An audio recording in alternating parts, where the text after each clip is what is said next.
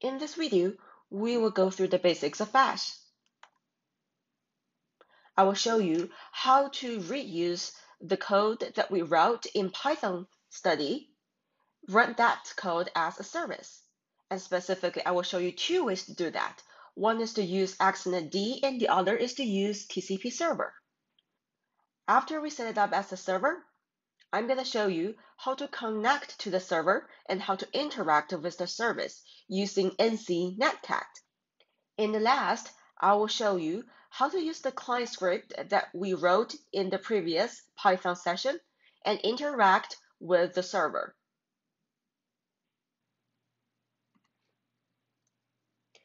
Recall that from the Python session, we write two files, a client and a server. And let's just have a quick overview, quick review for what we have written for the server. It's a very, very simple server. It just take an input from the client and then echo the message that we get from client, like just print it out, right? So in the next, what we are going to do is that we're going to redirect this from a socket so that it will output this message asking client the message and then react to the client by saying you just said um, along with the message that the client just input. And the first, I'm going to show you how to use it with the command called x inetd. So the way that we're going to do is that we are going to open a new file and then write this service the configuration over there. As you can see over here, we are going to define the service in this configuration file. We're going to make it as a TCP stream and with no wait server. And the user means, you know, when the client connects to the server, what is the user uh, of the client? And then we'll just find that with the local address. And this is the line that we need to pay attention. Server line. And this server line will specify the executable file that will be run when the client connects to the server. And as you can see over here, we direct this to server.py, which is the server file that I just showed you.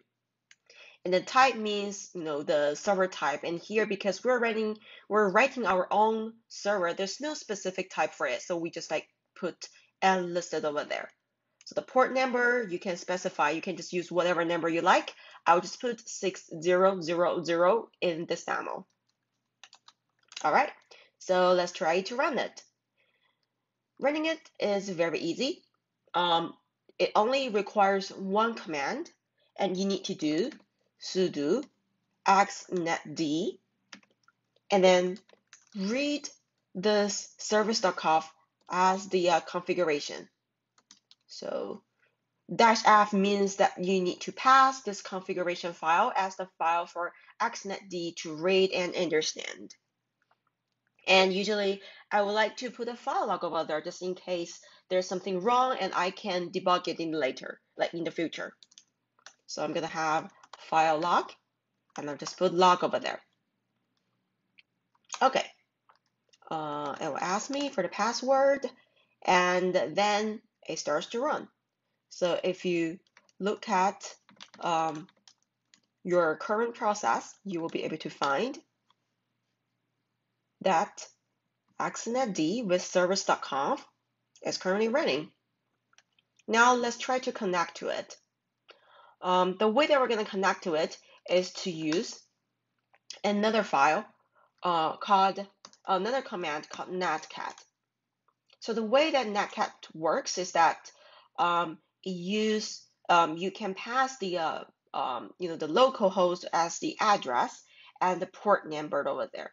So I'm gonna use netcat and in short I, I'm gonna just type nc followed by the destination as it shows over here.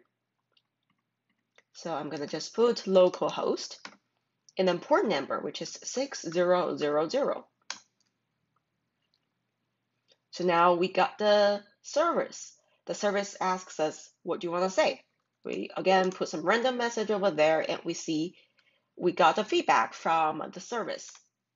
And then one more enter, we're gonna disconnect uh, from the service. Okay, so this is one way to really, you know, run the server and interact with the server. And I'm gonna kill this, kill the um, server. And you, as you can see over here, if you're gonna run this again, you're no longer get the message from the server. And now let's try to use another way to create the server uh, using the service, uh, the server.py, and then connect this again. Now we're going to use another command called TCP server. And if you look at TCP server, you can take a look at the man page. You will see that TCP server, it just it accepts incoming TCP connections. And you can use this as a way to set up a server at a particular host, particular port, using a particular program. And as he described in description, TCP server waits for connection from TCP clients. For each connection, it runs the program that we specify over here. And then with description zero reading from the network and descriptor one writing to the network. It also sets up several environment variables. For us, a very simple way to use TCP server is to just type TCP server and then specify the address, which we just put zero over here, which will represent the local host, and then put the port number again. It's 6000 followed by the address, uh, sorry, the path of um, the program they want to run. Okay, and now it's running. To test that, let's use NC to connect to the server again. Now we're back. We get the service, uh, we get the message, and um, in this way, we can run the server and we can connect to the server. And this will be very useful for you in the future in this course because you will come across challenges that you probably need to test locally. And this is a very quick and nice way for you to test it locally because you can just use one command like TCP server or xinetd with a specific configuration file, which you can reuse in the future so that you set up a server in your local machine and then test it with your interaction script. Okay, now let's just let the server run and then try to use our Python script to interact with the server. Recall that previously,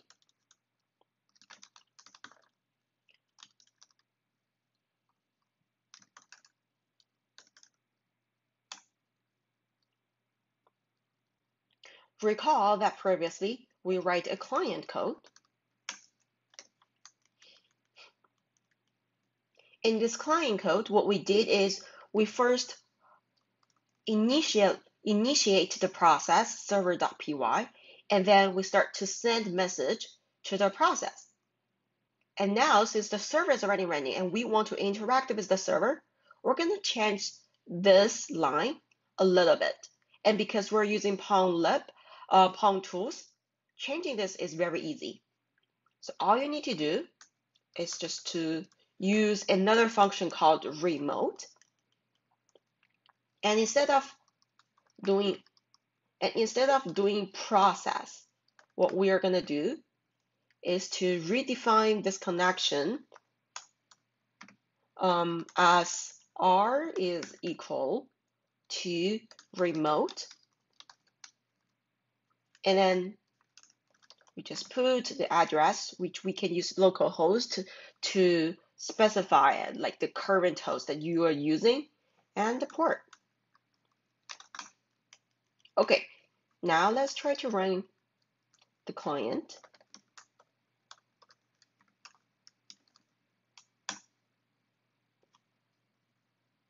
As you can see from the screen, we got this message what do you want to say? You just said hello, which is the result that we get from the server through this client.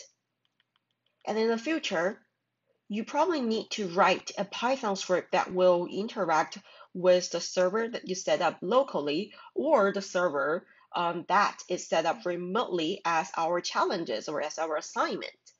Um, you probably need to use this and feel free to take this as your you know very simple and very like the first addition of the template if you want to use this to connect to the server and talk over there. So probably in the future, what you need to do is that you have this uh, remote connection and then start to send line and receive line over there to interact. And also you probably want to print it because you want to make sure that the interaction, the received message that you get from the service correct. Actually, when you finish the entire um, interaction, I would suggest you to close it just in case of memory leakage. Okay, so let's try to run it again. Now it will tell you that in the end, it will tell you that, you know, the client has closed the connection to the local host at port 6000.